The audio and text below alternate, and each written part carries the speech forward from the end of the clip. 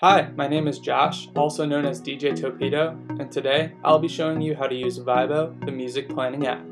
Let's go! Today I'll be showing it to you on an iPhone, but it also works for Android. First up, you will get a link directly from me to install the app. All you do is click the link, install, and you're ready to go. The first time you open the app, it's going to ask you to create an account I recommend signing up with Facebook so that you can use your profile picture as your avatar. Once you log in, you'll get to the home screen, which will show you the name of the event, the venue, the date, the time, and how many guests have joined. By guests, this can mean a select few friends that you trust to add music. They'll be able to add song requests for general sections like cocktail hour or dinner, or open dancing segments. You don't have to use this feature, but there are benefits. For example, you could have your selected guests choose which songs they like the best. To invite guests, just click the Invite Guest button, and it will open up a way for you to send them a message.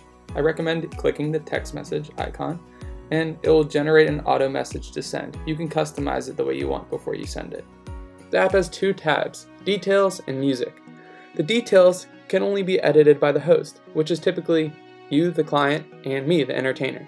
Click the Edit Event icon in the middle right of your screen and it will open up another window where you can change the details of the event. You can switch up the default image with a photo from the camera roll. Once you select the image, click Continue and it will return you to the editing screen. And be sure that with any changes, you click the Save button in the upper right hand corner. You can add other hosts, but generally it's just the client and the entertainer. If you decide to add a host, use discretion because they'll have access to everything. It's time to get started on the music. Click the music tab and it'll open up a different window for you. We set up the app in a way that allows you to add songs as you think of them. Let's click on the open dancing music section. There are three ways to add a song. Manually, through your Spotify playlist, or lastly, picking a song from the song list. Let's get started with manual way. First, this is the way you'll add in a title or the artist of the song. So for instance, let's say we do the Beatles. Now you don't even have to spell it correctly it'll pull up the most relevant song within the YouTube search engine.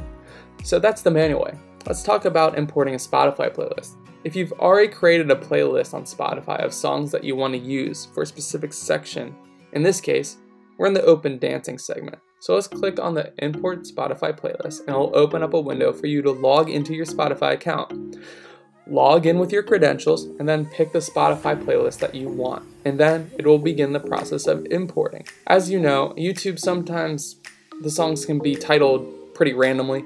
Also, due to the fact that certain songs are only available on Spotify, we do recommend that you open up your Spotify app at some point to ensure that all the songs from your playlist did in fact import. The third way is to utilize the suggestion playlist. Let's say music isn't your thing and you need some help. Go through the different genres or categories and you can find songs to add to your event. In the upper right hand section of each song, as a host, you will see three dots. Guests are not able to view this. When you click on those three dots, it gives you some additional options. You can add some song notes in there, such as dedicating this to a specific person, or you can classify it differently, such as a must play or do not play.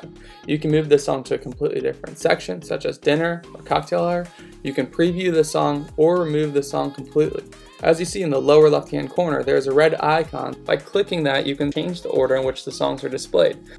Typically, I have already set up the different sections for your specific event, with this example, we'll be dealing with a wedding, which has many different sections. A green color indicates that it's a single song or a single event section, and a blue color means that you can add multiple songs to that particular section. You can also decide which playlists to make public and which ones to make private. Certain ones are only for the host, the public playlists are the only ones that your guests are going to be able to contribute to. Let's say there's a section that you want to change from host only to public view, or vice versa. Let's look at the cocktail hour. That currently says public, so we're going to change that to host only.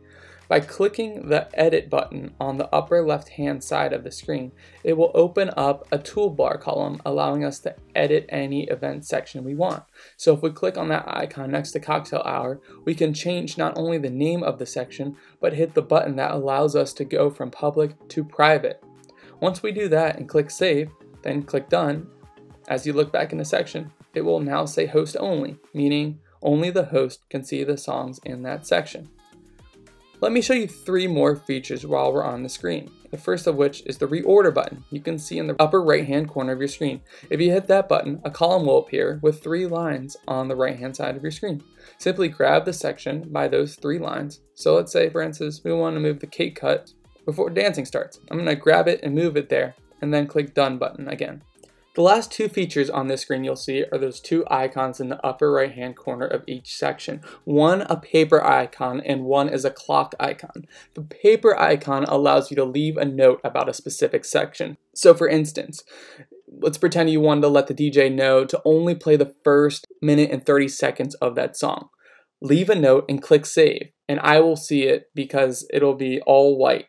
The clock is rather self-explanatory. Just click on that and it allows you to add a time to a specific section. Please note that by adding a specific time, it will still not change where that item takes place. And you'll have to use the reorder function to be able to move the sections up or down.